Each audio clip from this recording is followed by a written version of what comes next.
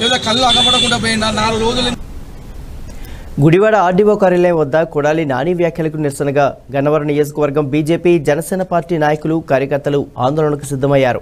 వీరిని గుడివాడ చెరువు సమీపంలో పోలీసులు అడ్డుకొని పెదపారిపూడి స్టేషన్కు తరలించారు. ప్రజా ఉద్యమాలను ఈ ప్రభుత్వం నిర్వీర్యం చేస్తున్న చర్యలను ఖండిస్తున్నామన్నారు నేతలు.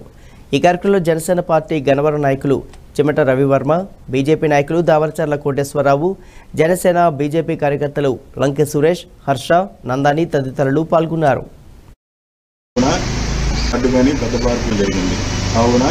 అండ్ అందరికీ నమస్కారం. నా పేరు చెమటారావు వర్మ జనసేన పార్టీ గన్నవరం మండలం.